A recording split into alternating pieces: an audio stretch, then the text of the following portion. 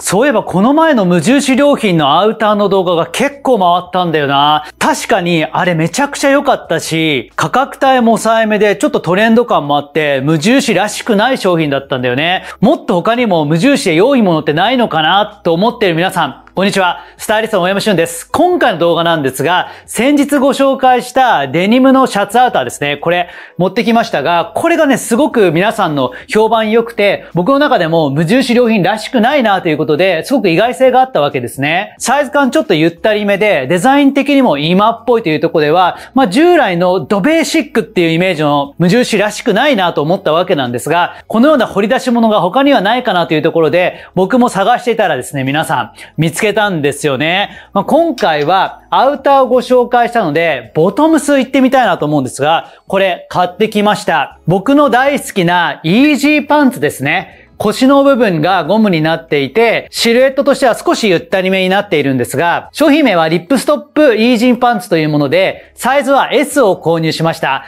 価格はですね、消費税込みで2990円ということで、かなりコストパフォーマンスがいいような商品になっているかなと思います。僕はこのようなブラック系のイージーパンツが大好物で、まあ合計何本持ってるんですかね。自宅にも事務所にもいろんな黒のですね、イージーパンツあるわけなんですが、その中でも価格帯が抑えめで、なおかつですね、シルエットがなかなか良かったんですね。まあ、僕の動画の中ではですね、ユニクロのスマートアンクルパンツですとか、タックワイドパンツですとか、まあ、そのあたりのものをご紹介したりしますし、あとはグローバルワークのアーバンスラックスなんかもあるんですが、それらと比べるとですね、こちらの無印良品のパンツに関しては、シルエットが結構ですね、ちょうどいい雰囲気に仕上がってるんですね。スマートアンクルパンツは、もも周りにゆとりがありつつも、膝から下テーパードが効いていて、スタイルがよく見えるような設計になっているんですね。一方で、タックワイドパンツというと、かなりですね、エッジの効いた太さがあるんですね。それらのシルエットのちょうど中間ぐらいで、使い勝手が良く、ちゃんと今っぽさも表現できてるような、そんなイージーパンツに仕上がっているので、これはなかなかの傑作だなと思いました。ユニクロなんかでも意外と探しても見つからないような立ち位置で、なおかつ軽くて扱いがしやすいということで、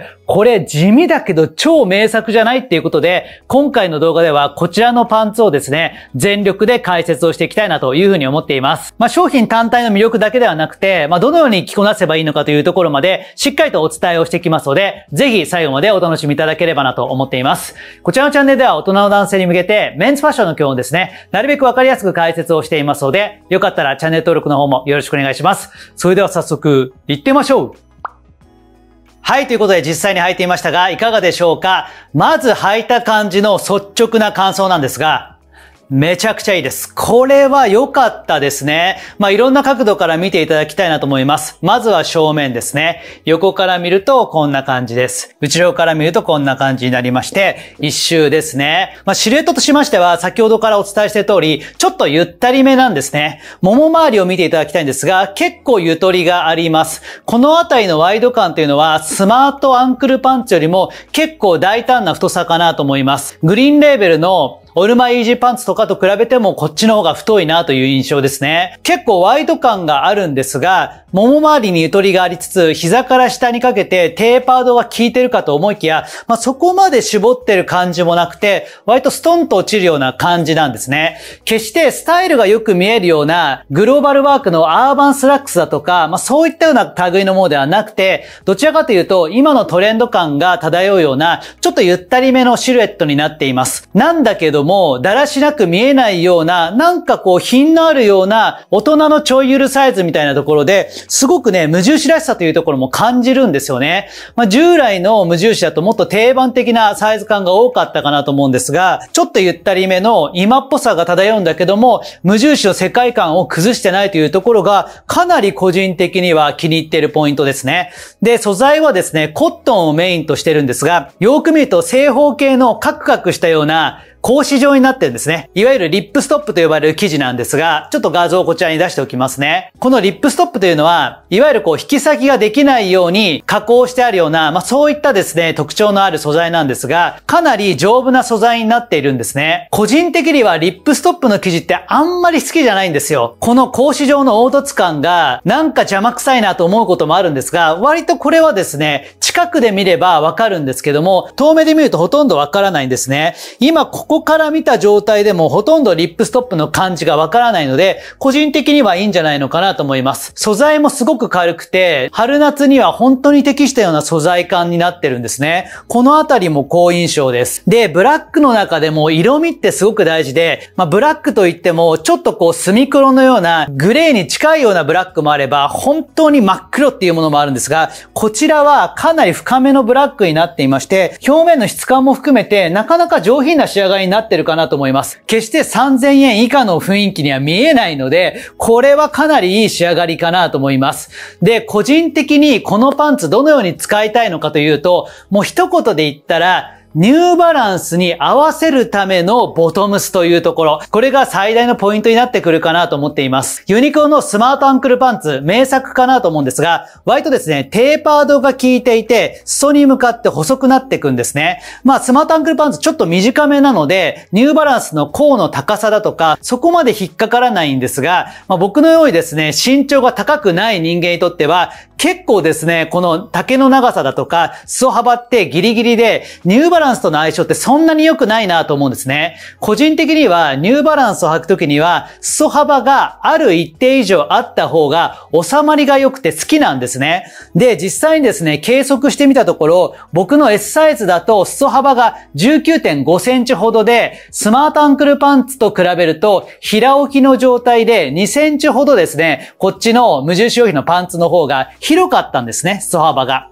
そうなると、ニューバランスを履いた時に、しっかりとですね、甲の上にパンツが乗ってくれるので、すごく絶妙なバランスがこちらのパンツ出すことができるので、すごくニューバランスに適したボトムスだなと思います。価格も手頃で手にも入れやすいというところでは、まあこれはですね、ニューバランスにも合うし、結構ミニマリストの方のライフスタイルとも合いやすいかなと思うんですね。そういったところで言うと、ミニマリスト兼、なおかつニューバランスが好きな方にはもう鉄板のアイテムかなと思います。適度な緩さがあるというところでは、まあ、いろんな体型の方にも似合いやすいというところですね。まあ、ちなみにですね、イージー仕様になっていまして、ウエストは360度ゴムになってるんですね。これもめちゃくちゃ便利なんですよ。僕は S サイズを買いました。本当だったら XS でもいいんですが、まあ、ここのゴムがしっかりとしていて、ちゃんとですね、この紐で調整ができるので、S サイズで全く問題がありませんでした。まあ、サイズの展開も結構広めにとってあるので、まあ、大人世代でちょっとお腹がぽっこり出てるっていう方でもカバーできるので、これはめちゃくちゃいいです。僕の動画の中ではスマートアンクルパンツがもう殿堂入りしたような立ち位置だったんですが、まあ、それに変わるようなトレンド感があって、なおかつ使いやすくて、価格帯も抑えめというとこでは、このブラックのイージーパンツはめちゃくちゃ良かったです。まあ、カラー展開豊富で、他にも5色ぐらいあったと思うんですね。まあ、その中で個人的におすすめなのは、こちらのブラック。まあ、表記は黒って書いてありましたが、あとはオフホワイトのような色合いですね。このようなものも結構良かったですね。今年はちょっと白パン履きたいなという場合は、無印良品のこちらのですね、イージーパンツのホワイト系も割と良かったんじゃないのかなと思います。ただ、ブラックに比べると、リップストップの格子状の部分が割とわかりやすかったかなと思うので、そのあたりが気にならなければ、ホワイト系もいいんじゃないかなと思います。これは夏に向けて2本ぐらいあってもいいかなと思うぐらいなので、まあ、ぜひ皆さんもですね、チェックをしていただきたいなと思います。じゃあ、このようなブラックのパンツをどう合わせるのかというところで、先ほどもお伝えしましたが、まずは足元ですね。ニューバランスのスニーカー。このようなちょっとぽってりとしたものは相性いいかなと思うんですが、まあ、それ以外にもですね、僕が動画の中でよく出しているこのジャーマントレーナーですね。これももちろん相性がいいです。ちょっと履いてみますね。はい、どうでしょう。これはもうね、何でも合うんですよね。もう、ジャーマントレーナーとか白レザースニーカーって合わないものがないんですよ。唯一、白パンとジャーマントレーナーって白白だからいまいちだよねと思いつつ、履いてみるとこれまた合うんですよ。なので、結構万能でどのようなボトムスとのつながりもいいので、もちろんこういったちょっとイージーパンツで裾幅が広いものでも相性がいいかなと思います。ちなみにですね、裾の長さなんですが、これはですね、僕の体型だとやっぱり裾上げが必要だったんですね。で、長さはですね、ちょっと今は正解っていうのがなかなかバシッと出しづらい時代かなと思ってまして、靴の甲の部分と裾がギリギリ触れるか触れないかぐらいのノークッション。このあたりはスッキリとしてワイド系のパンツには相性がいいかなと思います。そしてもう一つ、長さを少しだけ長めにとって、ハーフクッションですね。靴の甲の部分に乗っかって少したわみができるぐらい。これぐらいでもバランスがいいかなと思います。ノークッションが定番的で、ハーフクッションがちょっとトレンド寄りというところで意識するといいかなと思います。僕は最近ですね、事務所にミシンを置くようになったので、自分でですね、細かく計測しながらですね、素上げをするようにしているんですけども、履く靴の甲の高さによって微妙にですね、適正の長さって変わってくるので、まあそのあたりはですね、まあニューバランスに合わせるのか、甲がそんなに高くないジャーマンに合わせるのか、皆さんの手持ちの靴と合わせながらですね、長さを検討していただければなと思っています。まあ唯一ブラックの靴を合わせちゃうと、ちょっと重たくなりすぎちゃうかなというところですかね。ブラックのパンツに対してブラックの靴というのも、まあもちろんいいんですよ。しかも足が長く見えるんですね。ブラックのパンツと靴までが一体化して足として見えるので、白い靴なんかで分断されるよりも全然足長効果があるんですが、その分退屈に感じてしまうので、個人的にはこのブラックのパンツにはあまり黒のスニーカーは合わせません。白系だとか、もしくはグレー系のニューバランスで合わせるといいと思いますし、まあ、上半身に関しては、こういったブラックのパンツが割と地味ではあるので、ちょっとですね、主張があるものがあってもいいかなということで、今回はストライプ系のシャツを着ました。まあ、このようなシャツで少しアクセントを出してあげたいだとか、あとは上半身明るめのベージュだとか、まあ、そういったコートを着るのもいいかなと思うので、ちょっと仮にですね、アウター系をですね、明るいものを羽織ってみたいと思います。思います。はい、いかがでしょうか？もうベージュ系のコートとブラックのパンツというのは相性抜群ですね。まあ上半身を明るめに振っておいて、ボトムスでギュッと締めるというのが、まずはですね、使い勝手がいいかなと思います。まあ上半身ブラックだとかダークグレー、ネイビーにももちろん合うんですけども、ちょっと春夏だとですね、重たく感じることもあるので、まあベージュだとかライトグレーとかのアウターと合わせながら、ブラックのパンツを活かすというのもすごくいいかなと思います。まあこれがままず鉄板なので皆さん覚えておいていただきたいんですが、先日ご紹介したこちらのデニムのジャケットですね。これもちょっとブルー系で色は重たくはあるんですが、間違いなく合うと思うので、ちょっとこちらも合わせてみたいと思います。はいはいはいはい。めちゃくちゃいいですね。この組み合わせ、ぜひやっていただきたいなと思います。もうめちゃくちゃいいなと個人的に思ったんですが、無印良品のデニムシャツアウターですね。これ自体もトレンド感があって、少しゆったりめなんですね。それに対してボトムスをギュッと細くするというのも、まあ、いわゆる Y シルエットみたいな形になって、理論的にはすごく相性がいいと思うんですが、まあ、最近ブラック系のスキニーってそこまで履かない方も増えてると思うんですね。上に合わせてボトムスもちょっととゆとりがあるというのも、ちゃんと世界観が共通になるので、すごくハマりがいいと思うんですね。まあ、両方とも暗い色です。インディゴブルーでもこれ色落ち感がないので濃い色で、パンツもブラックで濃い色になるので、まあ、せめて内側にはストライプのシャツだとか、あとはボーダーのカットソーなんかは今季いいと思うんですね。まあ、そういったもので少しアクセントを添えてあげれば、割と重たすぎないかなと思います。それに対して白のレザースニーカーだとか、もしくはニューバランス、どちらでも合いますので、そのあたりはお好みだとか、日によって変えてもらえば、着こなしが成立するかなと思うので、このパンツは優秀ですね。買った時には、その良さっていうのは、まあ、そこそこ良さそうかなっていうぐらいだったんですが、実際に着てみて運用してみると、これは名作だなというところで、まあ僕の動画の中ではですね、これからどんどん使っていきたいなと思うので、ぜひ皆さんもチェックしていただければなと思っています。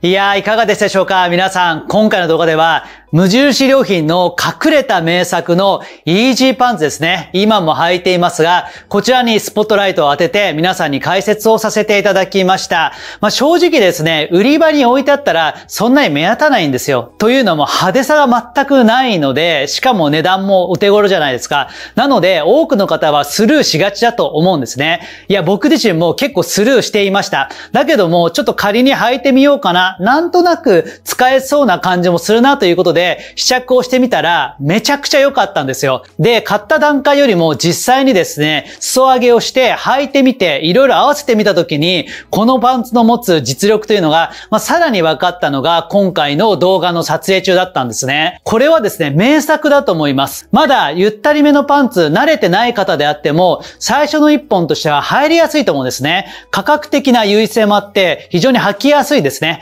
ライトで堅牢な素材感というところもありましすし、なおかつイージー仕様なので、着用感も楽だし、着脱も楽っていうところでは、かなり最強に近いかなと思います。まあ、僕の中ではミニマリスト志向の方にもお勧めしたいなと思いますし、あとは僕もそうなんですが、ニューバランスラバーの方ですね。裾幅がしっかりとあって、ちゃんとですね、ニューバランスを履いた時に邪魔にならないパンツとしても非常に優秀かなと思うので、このパンツはですね、僕の動画の中での認定ボトムスとして今後も皆さんにですね、どんどんご紹介ができればなというふうに思っています。これからもですね、こちらのチャンネルでは大人の男性に向けてメンツファッションの基本をですね、なるべくわかりやすく解説をしたいなと思っているんですが、もう少し通向けのですね、セレクトショップのオリジナルだとか、ドメスティックブランド、何々専門ブランドのアイテムみたいな内容に関しましては、僕はもう一つ運営してます、YouTube のメンバーシップチャンネルの方でしっかりめに解説をしています。週に3本のオリジナルの動画と、それに加えて1本ですね、ライブ配信もやってるんですね。主に土曜日とか日曜日にやってるんですが、